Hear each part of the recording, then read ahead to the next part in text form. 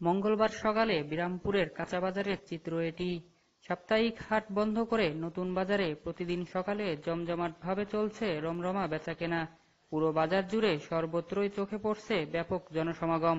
এমন চিত্র দেখে মনে হচ্ছে যেন সদ্য বিদায় নিয়েছে করোনা। তাই মনের আনন্দে বাজারে এসে ভিড়ের মধ্যেই গায়ে গা ঘেঁষেই সবজি সহ অন্যান্য নিত্যপণ্যের দোকানগুলোতে কেনাকাটা করছেন ক্রেতারা। কেউই মানছেন না কোনো সামাজিক দূরত্ব। বাজার এদিকে মাছের বাজারেও দেখা গেছে একই চিত্র। কেনাকাটা করতে আসা এসব মানুষের অনেকেরই মুখে নেই মাস্ক। খোলা মুখে ভিড়ের মধ্যেই অনেকেই দিচ্ছেন হাঁচি কাশি এতে করে শঙ্কায় পড়ছেন নিয়ম মেনে চলা অনেক সচেতন ব্যক্তিরাও।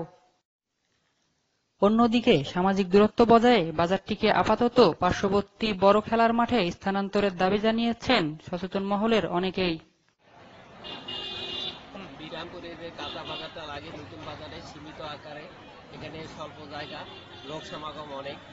এই এই বাজারটি যদি প্রত্যেকদিন সকালবেলা যদি মিনি স্টেডিয়াম মাঠে আমরা যদি এখানে স্থানান্তর করতে পারি বা প্রশাসন যদি এখানে স্থানান্তর করে, তাহলে এই করোনা, এই সংক্রামক, এই ভয়াবহ অবস্থায় মানুষ এখানে দূরত্ব বজায় রেখে কিনা বাজার করতে পারে বা এরকম এখানে কোনো সন্দেহ থাকবে না। আশা করা যায় সকলে নিরাপত্তার সহিত বাজার করে যেতে পারবে। এখানে আমাদের জন্য সবচাইতে উপকার আশা করা যায় করোনা থেকে আমরা এখানে বিরত Mohammad Samiul Alam, channel twenty news desk.